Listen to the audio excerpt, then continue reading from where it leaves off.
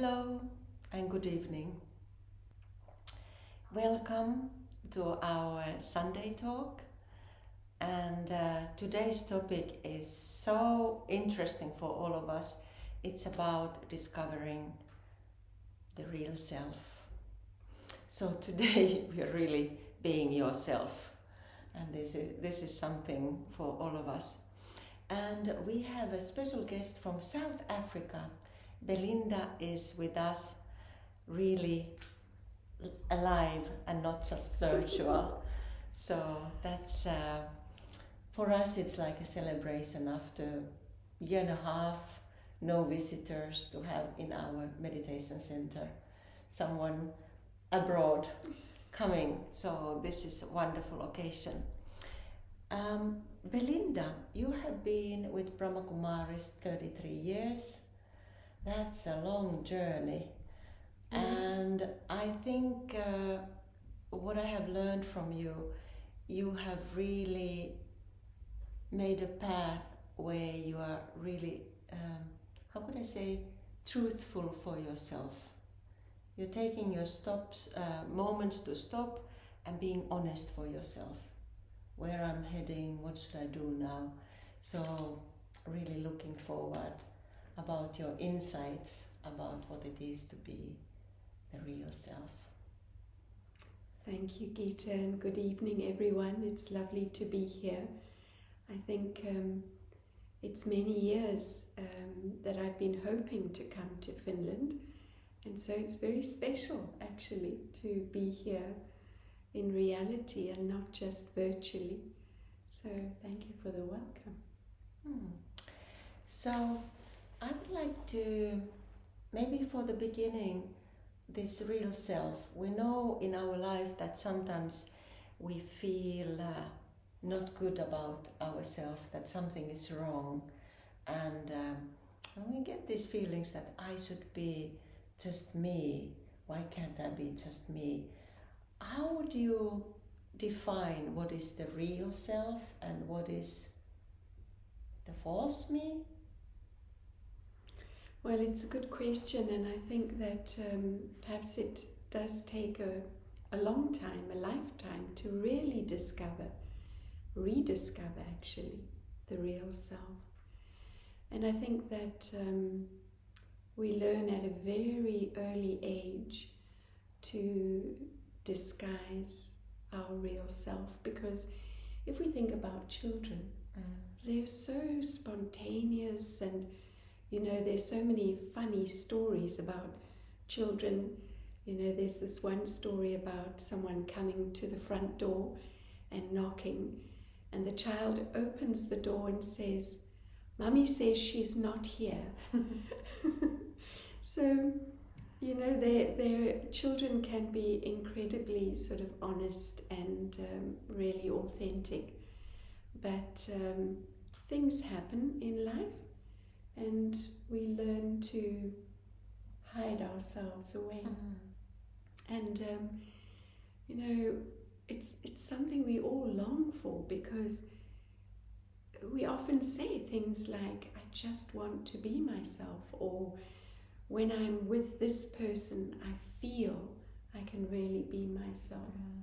Mm. And why, why do we say that? Actually, because that person is non threatening. Mm. And so we let down our guard and we're able to just, ah, just be ourselves. Mm. Is that also why we usually feel very comfortable with children? Yeah, I, I think so because they're so real and it kind of draws it out of us. Yes. That um, uh, children can actually pick up quite quickly if you're not authentic, and they they yeah. want you to be authentic. Yeah, I don't know about you. Mm. I know that you have two children mm-hmm. and two grandchildren, yeah. so you're very experienced. But sometimes with children you feel like you cannot put any mask they will they will feel it mm. and they will right away kind of withdraw yeah. if you are not real so sometimes a moment of honesty yes very true yeah, so uh, what it is, uh, is there something that happens to us when we're children that we kind of lose that authenticity? Mm. Yeah, it's um, it's quite sad actually, but um, at a very early age, um, we we learn how to either get what we need, and we learn it by adapting and and creating um, different behaviors, or alternatively, if we get hurt, we will um, learn another behavior to avoid that pain. And so it's interesting how, if we look back in our early childhood, very often there is a memory. And I'm very interested in memories because so many things happen in our lives, but they're very specific things that we remember. Mm. And those memories are like flags. And if we are, if we have the courage to go back to those memories, Mm. they carry secrets. That will help us to heal. And basically, that's what the authentic self is. It's the healed self. Oh, that sounds so nice. Um, can you think about some particular age this losing the real self starts? When we talk about children, is it later on when we are 25 or very Mm. early? I think mostly it starts early. Mm. um, you know, children uh, are very sensitive. I remember um, that I was uh, very, very shy, and uh, and you, even if you looked at me, I would blush red as a child, and uh, and then people would comment, "Oh, look, you've embarrassed her," and that was just the worst thing. And uh, and so I would learn to either disappear or avoid certain situations um, because you know I, I didn't want to feel exposed in that way. And so if I look back to my early memories I can pick up um, certain things that were painful to me um, I remember once very young I was rejected in a group of friends because of one small thing I did. Mm. And, uh, and you know, it was as if that young child made a decision there and then that she would never expose herself again. Oh. So, can you see how then behavior is adapted, it's changed Yes. to avoid that pain or um, or maybe to to get something like love or recognition or something. So I think it for most of us, I think it starts at quite a young age, and I think you're very lucky if um, if it only happens later in life, but mostly at a young age. I think so. But one question, just you said, like a small child will feel embarrassed, and it's quite common actually, or shy. Why do you think someone who is authentic and pure and so lovely, why would they feel embarrassed? Is it? I just got the thought. Is it something because mm, the world of adults is already full of falsehood, and there is some mismatch? Or why would that lovely being, Mm. small child who is five years old, feel embarrassed about what? Absolutely, and I think um, later in life I did used to ask myself that question, but it seemed to me that I just didn't like the attention on me. And if you Mm. think about it, Mm-hmm. it's fear Mm-hmm. because will I be accepted? Will I be judged? Mm. So, you know, even at, at such a young age, Yes. It's very possible that um, uh, certain things are uncomfortable for us. Yeah. Mm, mm. So we learn at a very young age this uh, kind of uh, we have to deal the negative feelings like I'm judged or I'm liked, I didn't get love now, or something like that. And I don't think it's always conscious. I, I think that, um, you know, there are certain tendencies within us, Mm. and as we develop, um, they get triggered. And we know that every child has such a different personality, practically from the time they're born. So they're carrying those, um, uh, you know, habits or tendencies, and then life just triggers them. And if there's a fear, then we learn to adapt that behavior. And the moment we do that, we are moving away from our authentic self. Ah, I really like this whole. It feels very delicate what happens to us, and I like this detective work. What you are giving us, how we can discover the real self. But now, do we have to go back to the five-year-old me and find the real self, or how how do we find the real self now? It feel, or is it not possible anymore? We having so many different layers of of uh, falsehood and and different masks and behaviors? It might be a bit messy situation actually. Who is real me? Yeah, And this is the question. that is the question who is the real me? Um, because if we look at the opposite of the real me, it is the false self. And um, we can we can talk about the masks we wear, the facades that we put on. Um, but in spiritual terms, uh, we could just call that either the ego or the false self. And it can completely take over so that there's no trace actually of the authentic self. But sometimes we catch a glimpse and it's so attractive and we feel so real and so comfortable. And I think that what is a spiritual journey actually, if it's Mhm. not to really uncover and rediscover that self that we have lost along the way? Mm. Um, and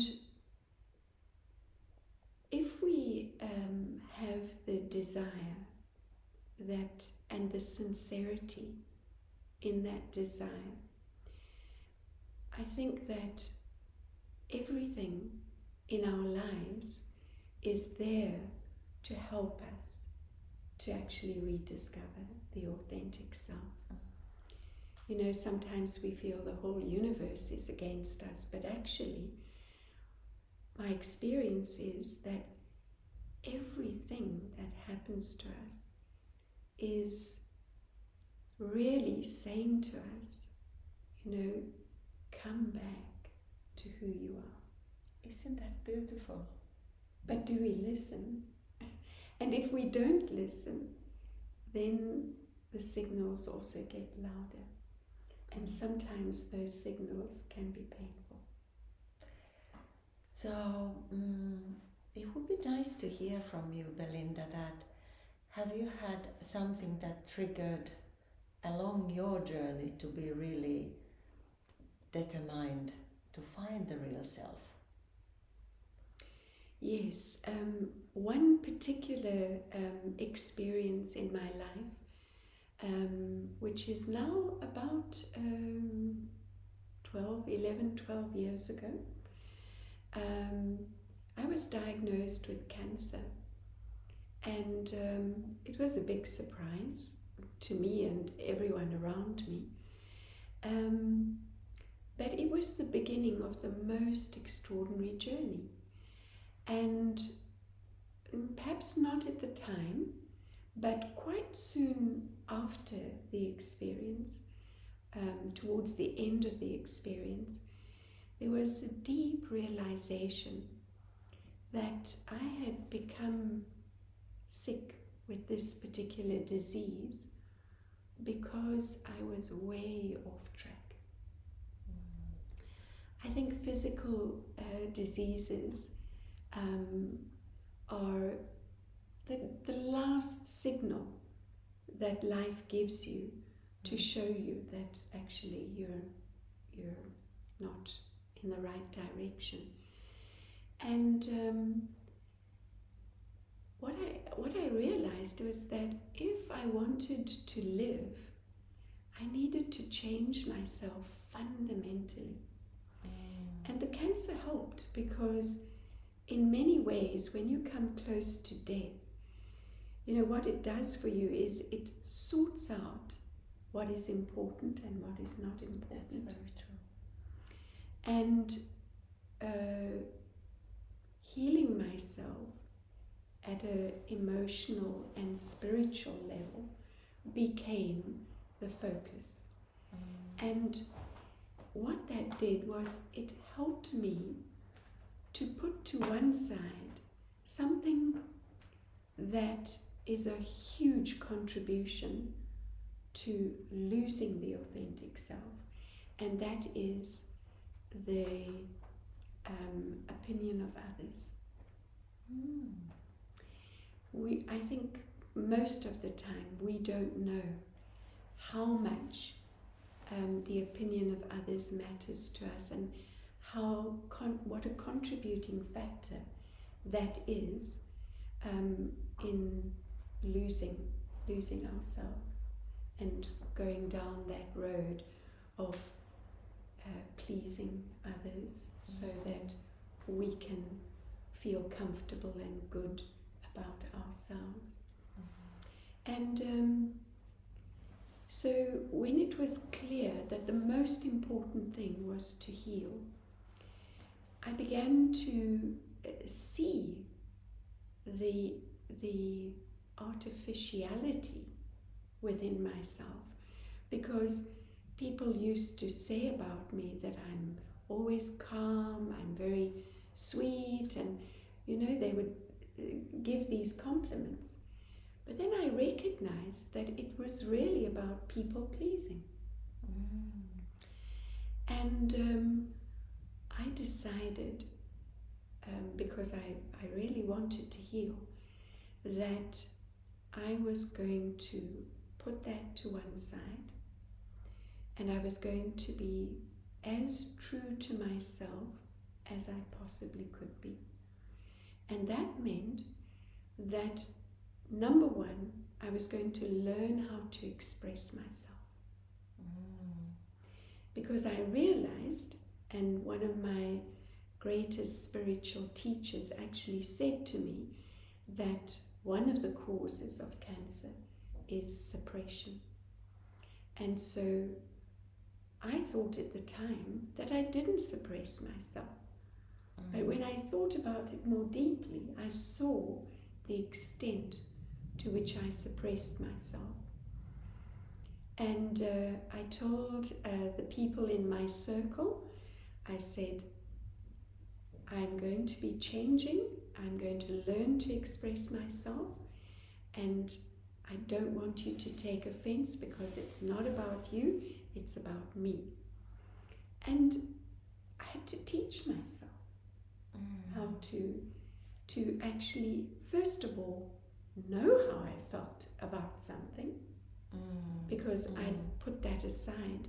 I think for women, maybe in particular, when you raise children, you think about their needs and the needs of other people in your family, and you do put your own needs to one side. Mm. So I had to learn all over again how I felt about things, what I felt uh, sometimes strongly about. Mm. And so I learned how to speak up, express myself, And I remember once a friend said to me, in we were planning something, and she said to me, "Oh, you've changed so much." And I looked at her and I said, "Yes," and I'm so glad. But uh, you know, that's another factor because you you need courage because you may lose favor with people.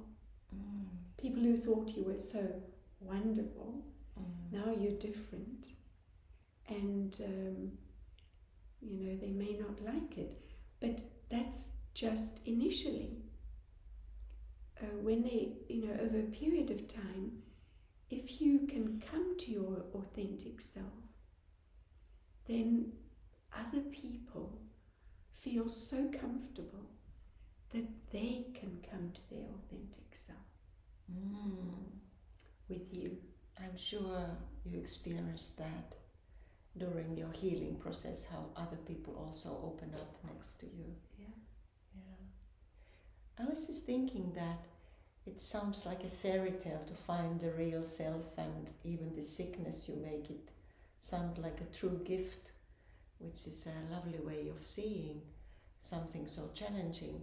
But I was just thinking that, on the other hand, we want to bring our own, own opinions and say them straight, but then we are a bit afraid that what I say will hurt others. Is there a nice guideline you can give how to start to express yourself or just not to care simply? Or or just so it doesn't go over the other extreme that Mm. now I'm hurting other people and I don't care. Yeah.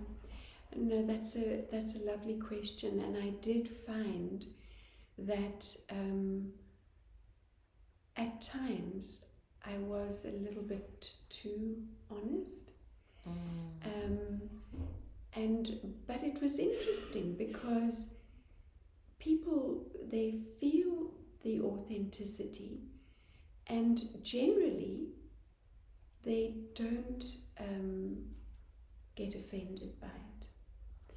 But you learn as you're going, because it's something new, you learn as you go along, and you can uh, see within yourself when you're a little bit too direct. And that, that was also something that I had, I had to Mm. learn. Um, and because it's all new ground. Mm. So you you have to be also patient with yourself because in in a way it's like a new you that's emerging and of course it's not new it is actually the true you it's the it's the um, the you that got covered up by Mm. all the pretense and um, in a way protection actually. You know the the the artificial self or the the um, ego self by nature is very very fragile. And that's why how do we know that it's there? Is because the the ego self always takes offense the smallest thing someone greets you in the wrong way or doesn't greet you, it scratches a little bit.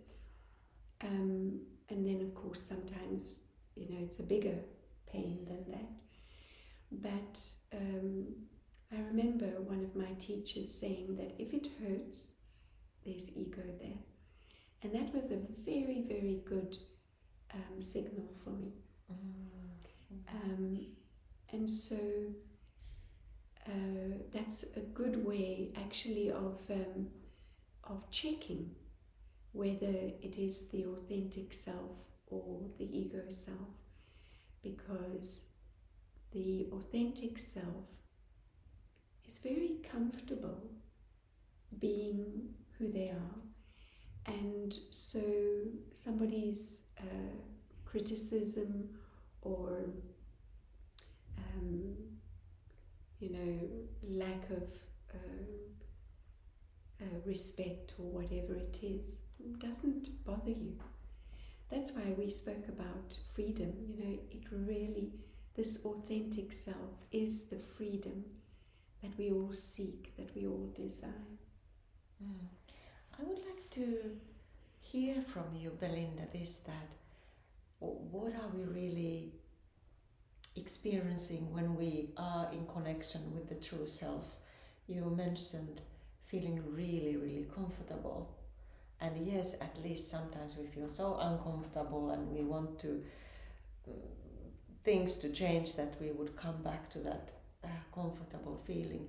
Is there something else you can guide for us? What do we find when we find the real self? What did you find? Well, you know, it's um, it's, a, such a simple thing, and yet it's so complex. I remember after the the um, cancer and when I was really focused on my inner healing, and people would say to me, or I would say, um, you know, it helped me to change so much. And they would say, Well, how? And I would say, Well, I just found myself. Interesting. Yeah. And and you know, it sounds the words actually um, don't really give the enormity of what that really is. Mm. Um, you know, we often talk um, in spiritual terms about identification.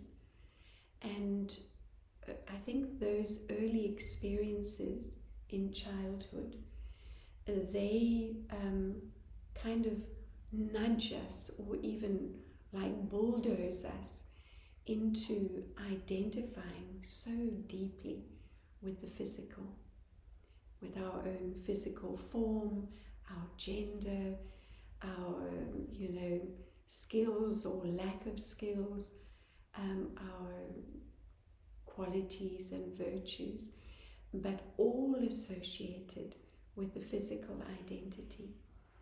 And this authentic self has absolutely nothing to do with that. And I think it's when we truly recognize that the spiritual self is totally separate. The authentic self is totally separate from those physical identities. And um, and then you your whole spiritual approach also changes because I noticed that within myself as well. You know, my spiritual life prior to the cancer was one thing, and my spiritual life after the cancer was something completely different. Wow. And uh, and all because I was able to to separate the role from the soul or the spirit and then really focus on bringing that spiritual self to the forefront. Um, and and that's when you can tell that it's really the real you mm. um, that is being expressed and it's not that I don't revert back mm. um, to the ego self. Um, certain situations may still trigger that. But now I'm much more, um, e- it's much easier to actually pick up when I'm not being authentic. Mm. And uh, what are the signs? Well, one of them that I mentioned was if something's a little bit painful, mm. you know, uh, that it scratches a bit. And that pain can come in different ways. Recently, I experienced quite a lot of stress, and um, uh, and and the stress and a little bit of anxiety was really about travel during this COVID time, and all the hoops that you have to jump through in order to travel. And um, I just realized, you know, the authentic self um, uh, always feels safe. Mm. and secure.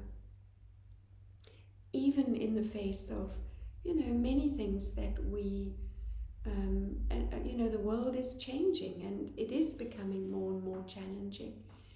Um, but if we are true to ourselves and we stay in that authentic self, then we're able to watch the situations of the world and um, be in the world, but without experiencing the negativity that the, the ego self is always feeling so anxious about. Yes.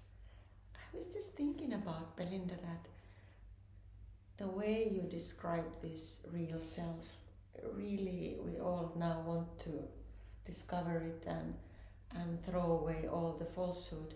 But is there something that's stopping us? Why, why it's, it feels a bit comfortable to slip into old habits and Mm. take those different masks again? Is there something, do we need courage in this journey? Mm. Yes, um, we do need courage, but also one of the things that stops us is that we've had a certain amount of success um, in wearing the masks and putting on the facade. Um, it has been a protection for us. So if you look at the example that I gave as a child, I was so um, shy, painfully shy. And so I learned ways of protecting myself from that. Um, so we tend to default back to that because actually that's all we know. And you know the the um, the crazy thing about it is that actually it keeps us locked into insecurity and fear.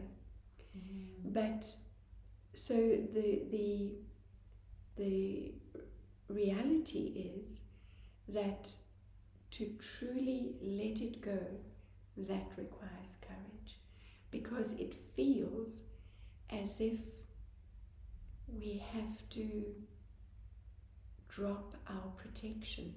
Mm. There's a beautiful saying that says, The one who allows himself to be vulnerable is trusted.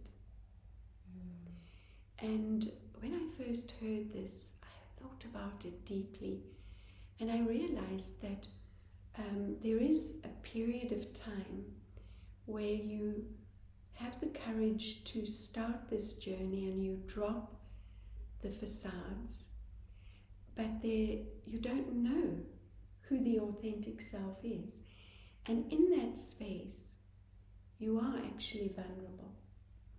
You know, the lobster, uh, when he outgrows his shell, he has to shed it, and if he doesn't, um, the new one will not grow. But in that time period when he sheds the old shell before the new one grows, he is very vulnerable. And so we have to have the courage to be truly vulnerable. And it, it's um, sometimes a bit of shaky ground, but you know, if you are that determined to really be true to yourself, then you will, whatever it takes, you will do that. So allow yourself to be vulnerable, and you will come out of that vulnerability into a space where you are completely safe.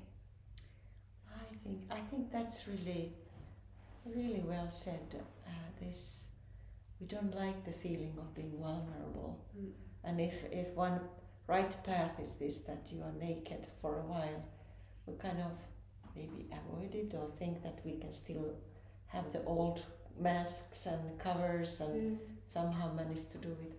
Yeah, something really. This is a deep work and reflection with yourself. Mm. But um, it would be nice to have also meditation about this, um, some 10 15 minutes. But before that, would you like to share something about the real self? Um,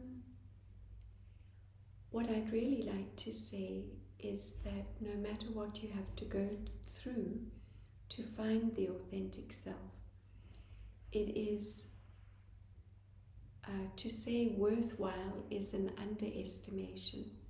It is the greatest liberation and the greatest joy to feel comfortable with yourself um, and the beauty that comes out in relationships is very, very special because the authentic self means that your love is authentic, your respect and acknowledgement of others is authentic, everything is authentic. And you feel in your heart um, that you genuinely have love for everyone, irrespective of their behavior. Because you're able to catch a glimpse of their authentic self, no matter what the masks are. How beautiful. Mm. Yes, thank you. But uh, shall we start a small meditation? Mm. Yes, let's do that. So, wherever you are, sit comfortably and be relaxed. And you've listened to a lot of words, so just allow your mind to be free for these few moments.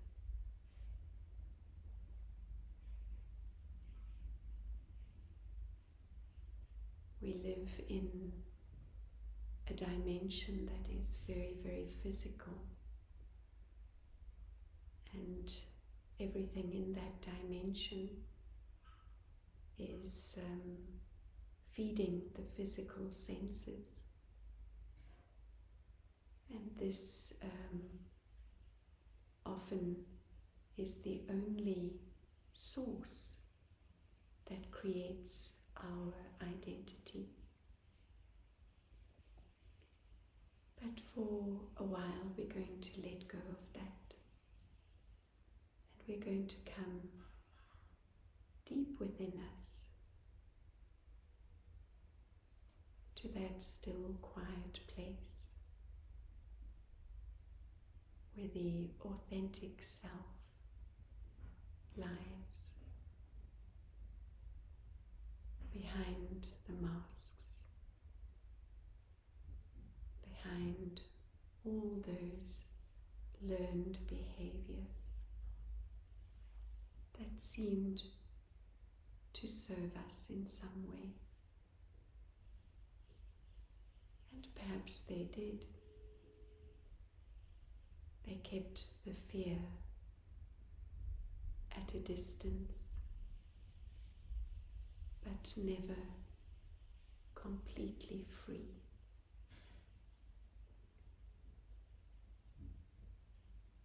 The authentic self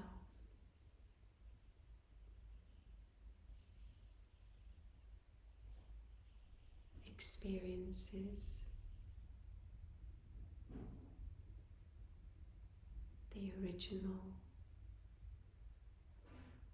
qualities of love and peace.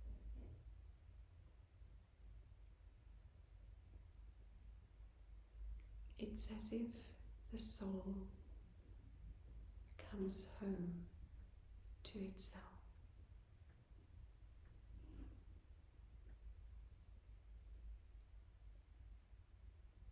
And these feelings are completely natural. Peace is natural.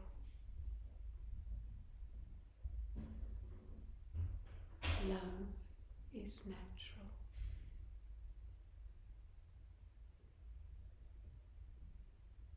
And inner joy is natural.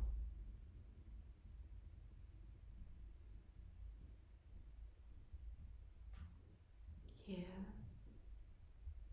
there is nothing to lose.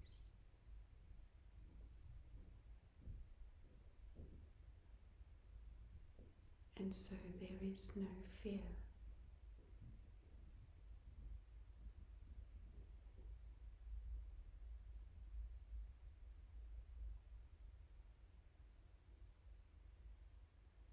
You feel completely connected not only to yourself but to everyone.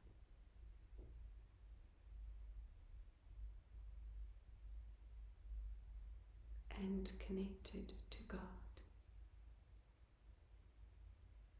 who is always in the authentic self.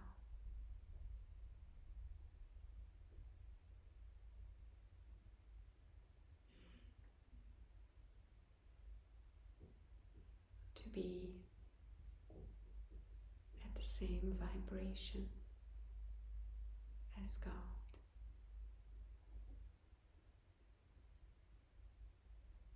To feel that this is where you belong. with God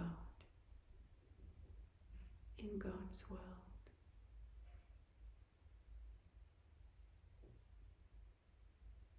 Where everyone is safe, everyone is secure,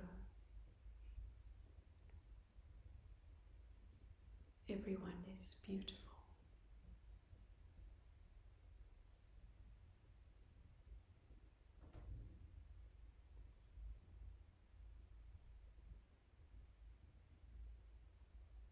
behind the mask of the ego lies this divine self.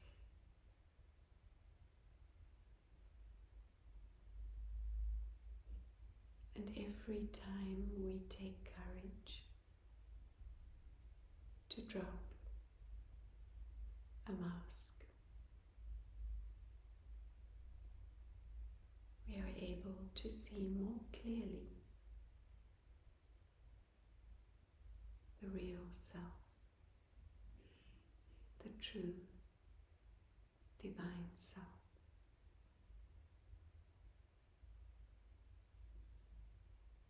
This is the healing of the soul. And the magic is not only the healing of the individual, but the healing of all, a whole human family who have lost their way simply because they forgot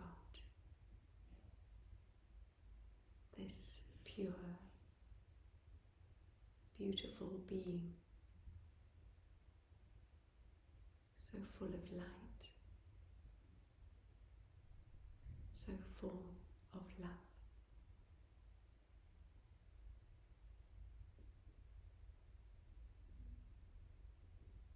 Thank you.